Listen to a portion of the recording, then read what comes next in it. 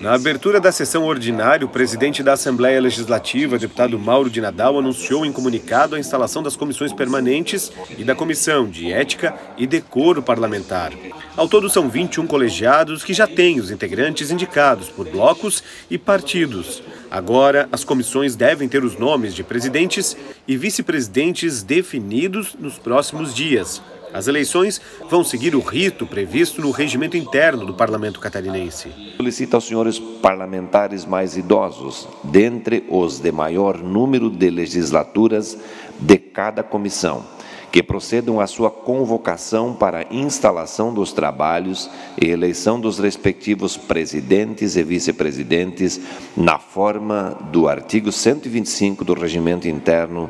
desta Casa. Ou seja, imediatamente.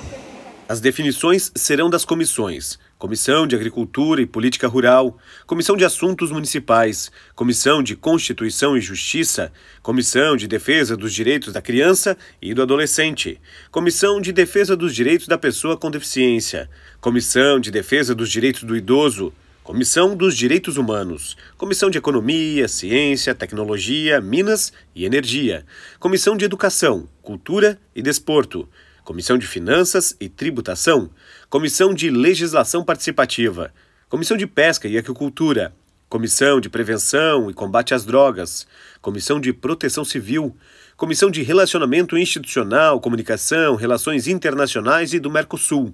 Comissão de Saúde, Comissão de Segurança Pública, Comissão de Trabalho, Administração e Serviço Público, Comissão de Transportes e Desenvolvimento Urbano, Comissão de Turismo e Meio Ambiente e a Comissão de Ética e Decoro Parlamentar.